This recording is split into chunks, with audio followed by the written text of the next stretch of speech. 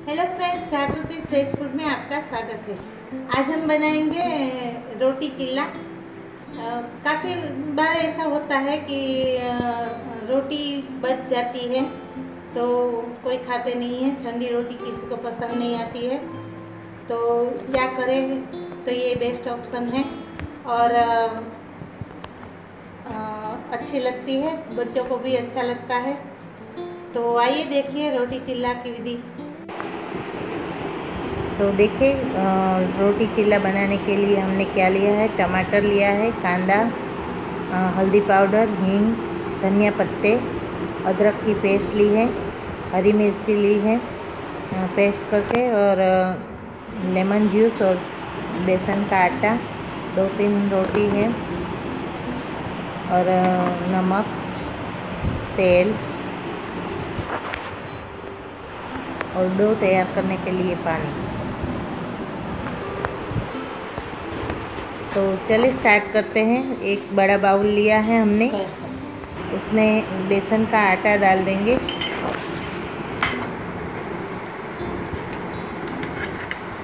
फिर इसमें टमाटर डालेंगे।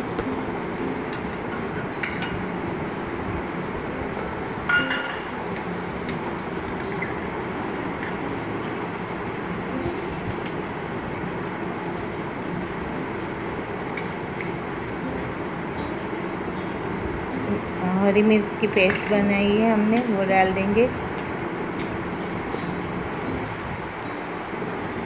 अदरक डाल देंगे वेट किया हुआ।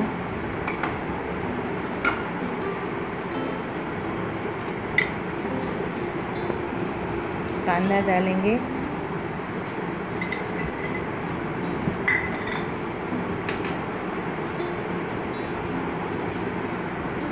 लेमन का जूस डाल देंगे, एक छोटी चम्मच जितना है।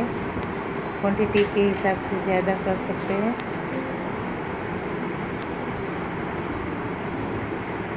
हल्दी पाउडर डाल देंगे, एक चम्मच जितना।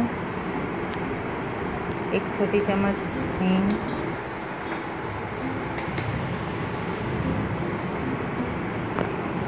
और एक चम्मच नमक। अपने स्वाद के अनुसार नमक को एडजस्ट करेंगे। सारे मसालों को मिक्स कर लेंगे बराबर से।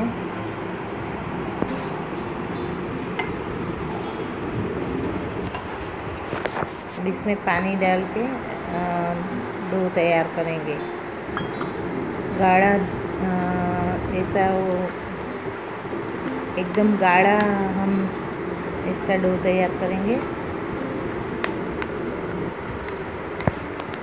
पतला नहीं होना चाहिए।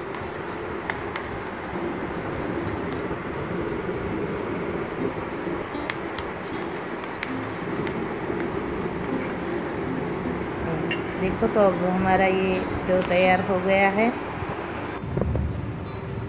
अब हम चिल्ला बनाना स्टार्ट करेंगे। ऑलरेडी गैस पे हमने पैन रख दिया है। और रोटी को हम डालेंगे उसके ऊपर। फिर उसमें वो हमने जो डो तैयार किया है वो डाल देंगे।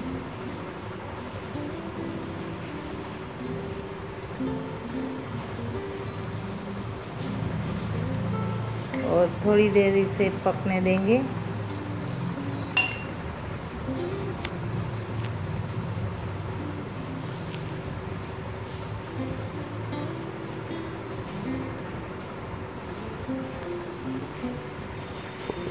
इसमें धन- धनिया पत्ता से गार्निशिंग करेंगे।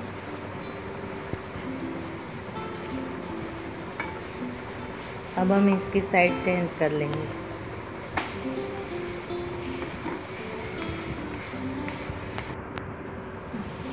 और अच्छी तरह से उसे पकने देंगे। तो देखो ये साइड में हो गया है। थोड़ी देर दूसरी साइड कड़क कर लेंगे और निकाल लेंगे। इसी तरह से हम, देखो हो गया है। इसी तरह से हम सारा चिल्ला बना लेंगे।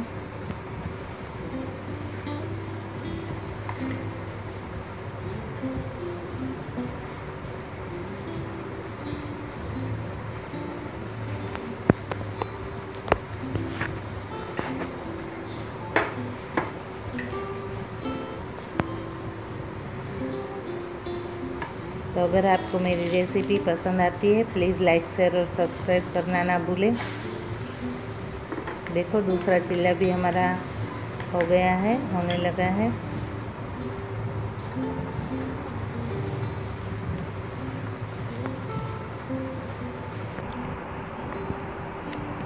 तो अब हम दोनों चिल्लों को पिज़्ज़ा कटर से कट करेंगे। और उसे सॉस के साथ सर्व करेंगे। आप इसे चटनी के साथ, कोई भी डीप के साथ सर्व कर सकते हैं।